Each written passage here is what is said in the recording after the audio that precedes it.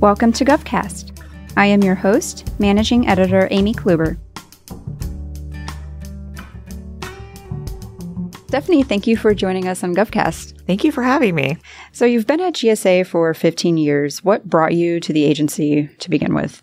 Well, I joined GSA actually right out of college. I was debating whether or not to get a master's in mathematics or get a job in the real world.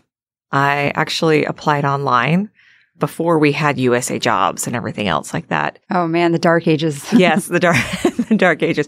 I think it was like through one of the career one. I, I can't even remember. It's been so long. But I remember applying at college kind of almost in a panic of, oh no, I have to become an adult.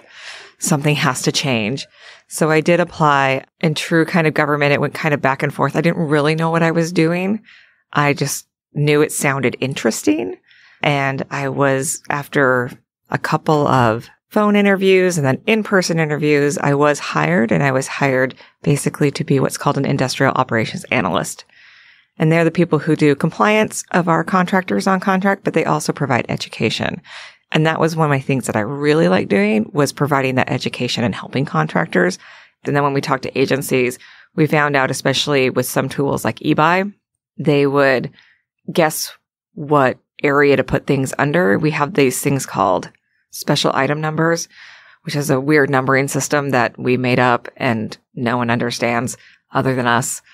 And agencies would just randomly pick one because it was a guessing game for them as well. And they'd be like, well, that looks like a good number. Boom.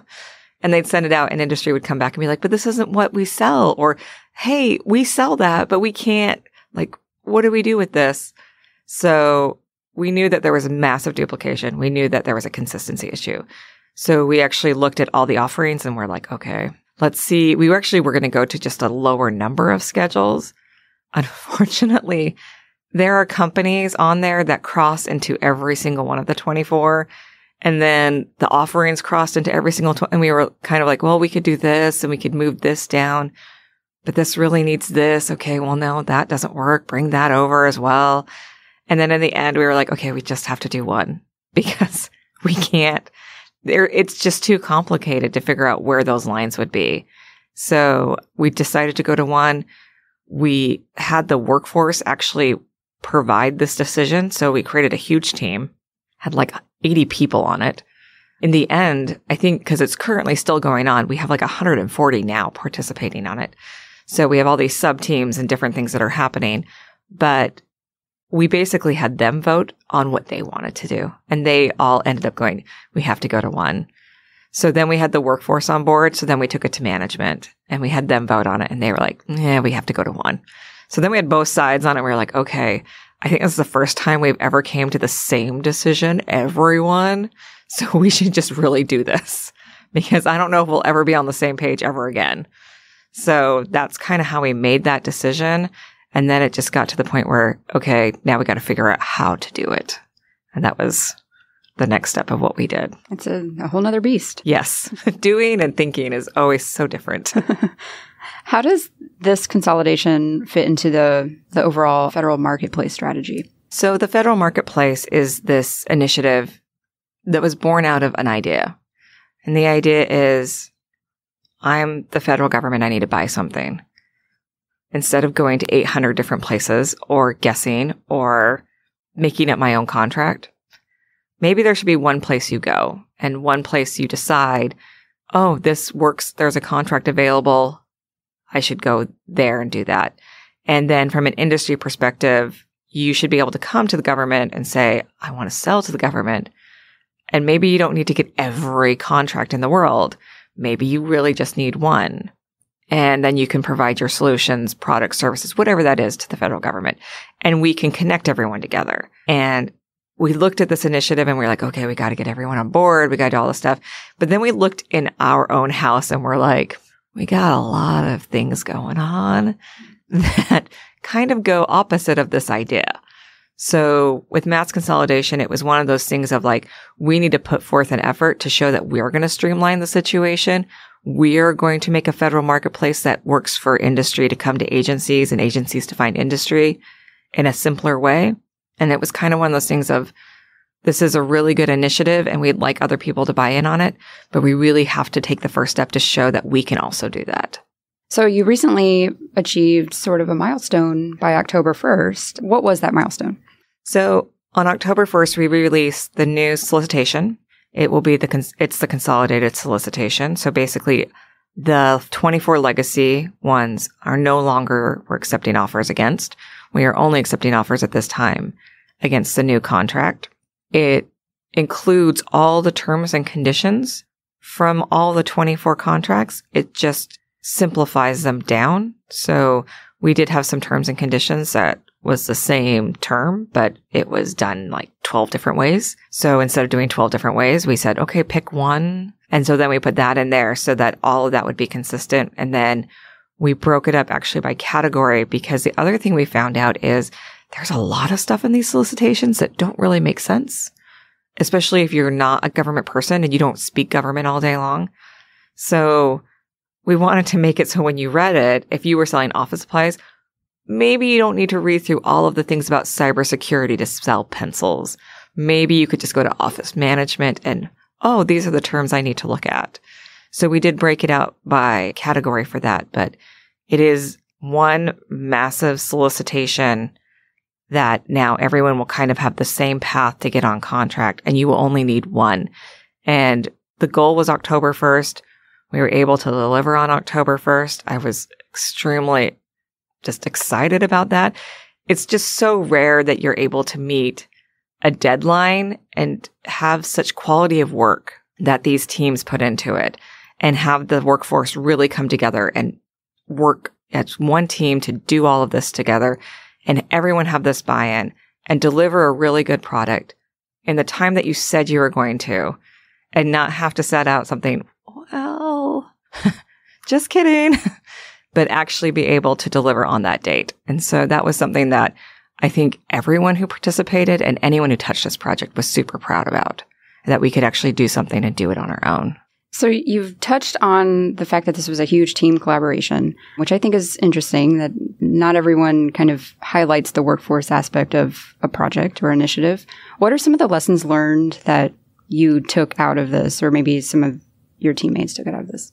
One of them is helping everyone get on the same page is always very important, but listening to everyone's experiences, especially people who do it every single day, it changes how you actually view a project. Having everyone piece things together rather than a small team siloed off telling everyone what's best for them, but actually having everyone contribute to it and having people on various other teams be that spokesperson for you rather than you having to talk to everyone. It just helps get that buy-in at a level that I just was not prepared for. It has been amazing to watch all these people work. And it's been amazing to watch people who came into the project kind of with an attitude of, this is never going to happen. And then by the end, be some of the biggest champions of, oh, we're going to get this done. If it kills us, we will get this done. And watching people that when you have that piece of you that's involved in something like this, that you are contributing to, it makes that success so much more achievable because you have so many people pushing it and you're not on your own. And I think that always makes people feel happier. It's always terrifying to be the one sole person out there. And I always tell people I work with, if you have a million people taking credit for what you're doing, you're doing something right. If no one wants to take credit for what you're doing, you may want to rethink what you're saying. There's kind of this thing of like, if people just start, oh, of course I did that. Of course, let them have it. Like, let them take that credit because it's a better fight with everyone in it and everyone receiving credit than just one or two people. It always works out more for everyone. So in this first phase, what what were some of the challenges you encountered that you maybe weren't expecting? I think the biggest challenge we had is the special item numbers. I don't know who created them and I don't know who came up with the numbering system of them, but it is something that has carried on and no one understands. Like we'd be like, okay, well, how did you get to this number? And they're like, I don't know. So and so said all the other numbers are like this. So we decided to go with it. Figuring out how the NAICS codes align to them was also a little bit of chaos. But reviewing the NAICS codes themselves and the size standards associated with the NAICS codes and how they're broken up, I looked at it and I'd always kind of read into it and everything. But once we were like deep into it, I was like, wow, nothing we do makes sense. so trying to make sense of something and create a methodology that someone could come in the future and be like, oh, we need a new whatever. We know we don't already have it because of these NAICS codes are not being used. We can put it together because we're going to map it to that NAICS code. Having that methodology is something that we hadn't had in the past. And I'm hoping that will help us not get out of control in the future because we started adding special item numbers more on requests from agencies than whether or not we should, which is always great because it helps that agency. But at the same time, that's what added to that duplication a little bit. But the 24 legacy schedules had about 900 SINs. The new one has 320. And we kept the scope of everything. So you can see that duplication across the program just in that. But I would say that task required so many teams and required just review after review. And there were days that I was like, this is the thing that's going to get us. And the fact that we were able to finally wrangle it in, I was just so thrilled on so many levels with that. So, what kind of feedback have you received through this process, whether it's from stakeholders or contractors or maybe even from your own team? So, we received a lot of really good feedback from industry that have especially been on board and watching the entire time. Some of the more nervous feedback are industry that are now in the midst of, oh, something happened. I have no clue. I don't read emails from you. Things like that. Or what happens with this? Or they get ahead of themselves or people who've made situations so complex that you kind of have to walk them back and you have to kind of explain things most people who come in who are nervous or anxious about things, whether it be an agency, a workforce member, or industry, once we kind of talk it out or email them back, they seem to come back with a, oh, never mind. It's not as important as I thought it was going to be. It's not as stressful as this is going to be. So we've tried really hard to do anything in our power to reduce the burden on all parties involved. Obviously, you can't have zero burden across the boards, but trying to get that below, but also be a little bit more transparent with communication, answering questions. Even if we don't know the answer to the question, talking out the problem at the very least, and then coming back later with an answer. I think that's helped a lot, but I do know as we continue to go through until probably July of next year when we start actually consolidating and different things start happening, I think there will always be a little bit of stress because before things happen, it's always panic. You don't know what you're panicked about, but there's something you should panic about. It's kind of how people feel sometimes. So trying to get to the point where everyone is on the same page and feels happy and realizes basically they don't have to climb a mountain to get this done, that it will be a little gradual. We'll have it be a little bit more organic and get to the place where it needs to be. But every day, I'm sure I get at least one email of panic that someone has sent, whether it's industry, agencies, or the workforce, and just making sure that we continue to put out communications on it is the main thing that we've been trying to do. Well, you mentioned in your previous roles that you were more involved in kind of the education aspect mm-hmm. of things. Is this an area where you think that comes into play? Yes. I mean, that definitely has helped me a lot because it is one thing that I learned a long time ago. So when I was in college, my degree is in math, but I had to teach every once in a while. That's one of the reasons I did not go into math. it's teaching large classrooms. Oh no. Was not my I'm much better at it now, but when I was in college, I was like, oh, I don't know if I can do this because no one wants to go to math class either. So you have that element. but learning to actually listen to someone's full question before I answer has been something, and I still work on it to this day. But being able to do that so that I can educate them on what they need to be educated on and not fill in an entire backstory for them, I think has helped me immensely in this project and other things. And it's helped me personally gain trust of various people that I've, for lack of words, suckered into this project to come help me so that I can create these trust bonds with different people so that everyone can come to the table and do things together. But it is one thing that it took a very long time to learn. And I'm, I'm sure, like, if you talk to someone, anyone, they'll start with the question. And as they're trying to formulate it, if you don't have the patience to listen, you just want to answer for them. And they're like, no, that's not what I'm asking. so trying to continue to do that is something that's very important, especially right now. Can you outline what the program's next steps are? We just passed this first milestone. What do the next two phases look like? So we've just started phase two. Phase two is getting everyone who currently has a contract onto the new contract. And that basically is just cleaning up some terms and conditions on their contracts. And we're looking to do that in January. We'll be issuing a mass modification is what we call it. Mass as in to the masses, not MAS as the program, which is always confusing for everyone. So we'll be sending that out to everyone that will update the terms and conditions the one thing we won't be doing is there will be no contract number changes, no price list changes. All of these negotiated factors will stay the same. This way, agencies don't have to change orders. They don't have to change blanket purchase agreements. Anything that's in process will remain in process and not be disrupted.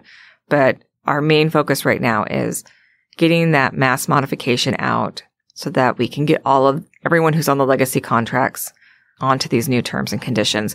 And once that's done, that will end phase two. And then we'll also be working between that January and July date, making sure things like eBuy map to both sides of the house so that if you're an agency and you only like the old numbering system, you can still use it. If you don't have any clue about any of the numbering system, you can continue to guess but we'll map it to all the different things that you need to have it. And then in phase three, we'll be doing a complete update in eBuy to move us to a large and subcategory arena so that agencies will be looking for words and allow industry to come with actual solutions rather than pinpointing into something that an industry partner may have a difficulty staying in that box to provide what they need.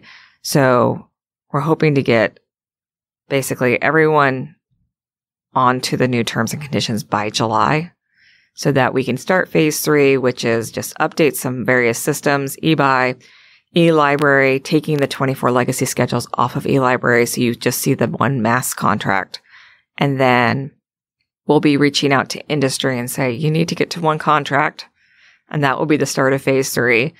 And our goal is to have sometime during 2021, basically an agreement or document from each contractor who has more than one contract of how they're going to get down to one so that we can have that on file. Cause this way we don't have to disrupt any orders. So there's going to be some contractors who have three or four contracts where some of them may not have sales. Some of them may have different things where they'll know which ones they want to cancel and which ones they know they want to do full modifications to to add new special item numbers, add scope, add price lists, add whatever they need to to make that contract what I lovingly refer to as their ride and die contract. And then they'll know which ones they want that they don't necessarily need anymore. And then they'll slowly start figuring out what those cancellation dates are going to be.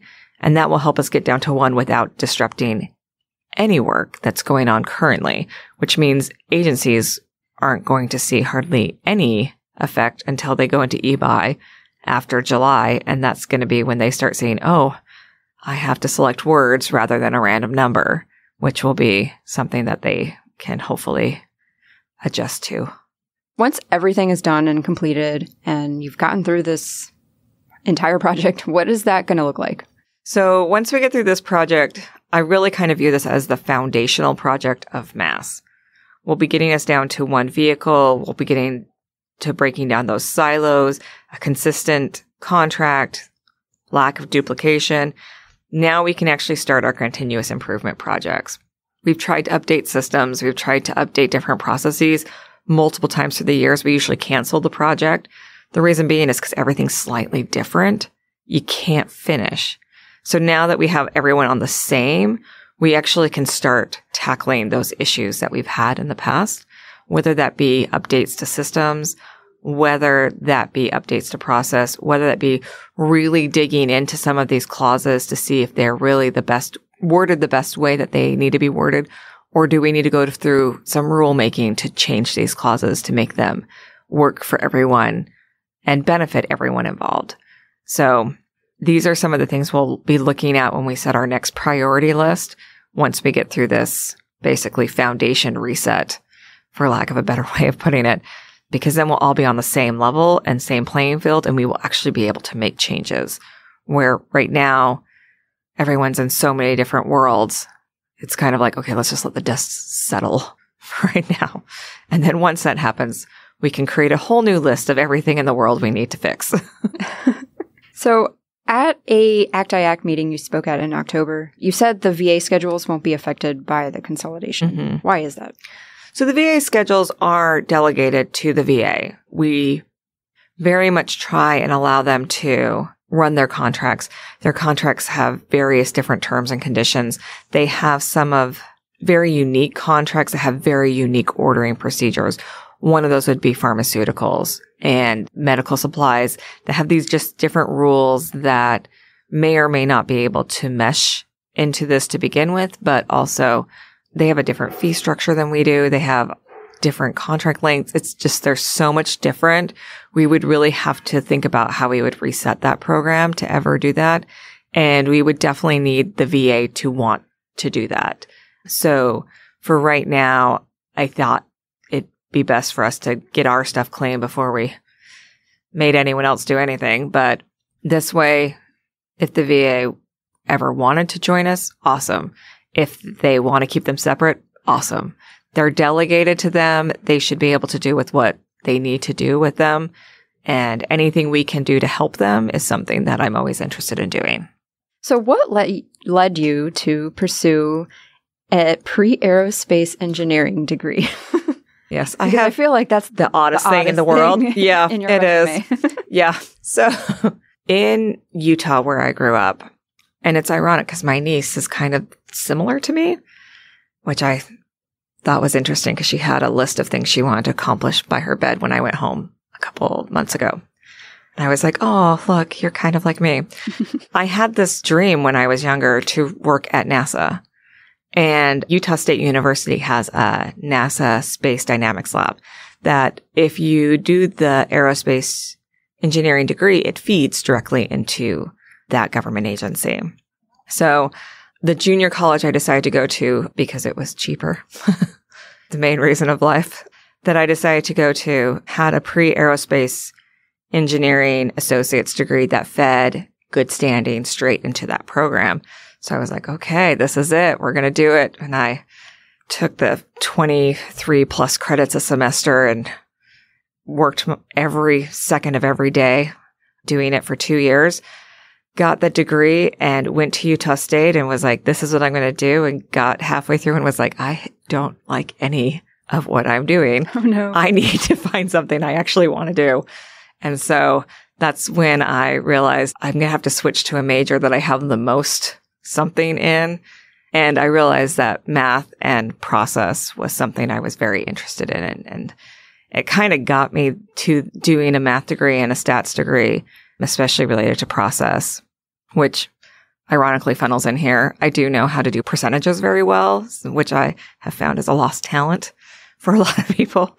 But yeah, no, it, it was this whole dream of working for NASA. Ironically, in ACT IAC, when I was in the Voyagers program, my mentor was from NASA. And I was like, oh my gosh, this is the closest I'm ever going to get. so, but I had had this entire, your senior year in high school and you map out your whole life and then you get halfway through and we're like, I'm a completely different person than I was in high school. Should probably change some things up. so, but yeah, it was a dream for a little bit. Well, so you, you didn't get around to, I guess, building space shuttles. No.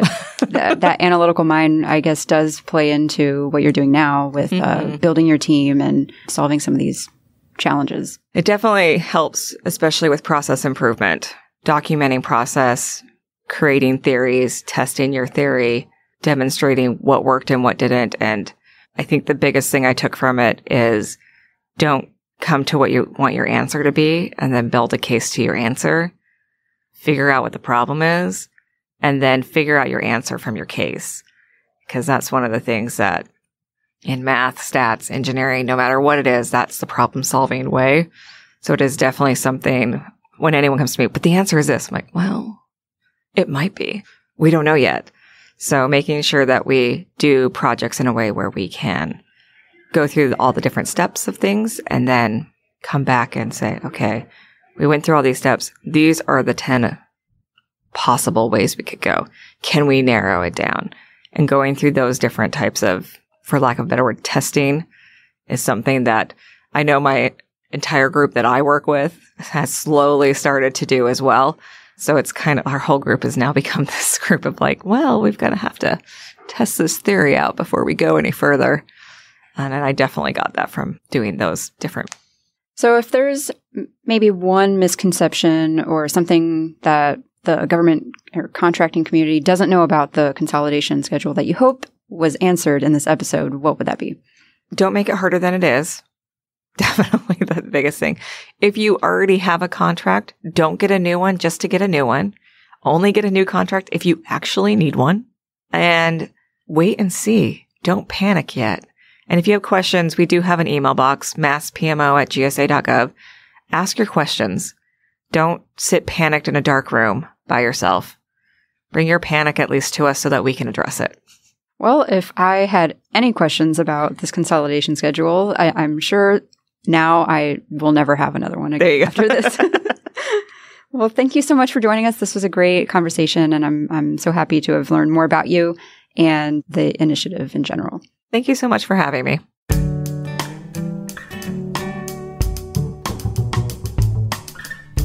GovCast is a production of Government CIO Media and Research.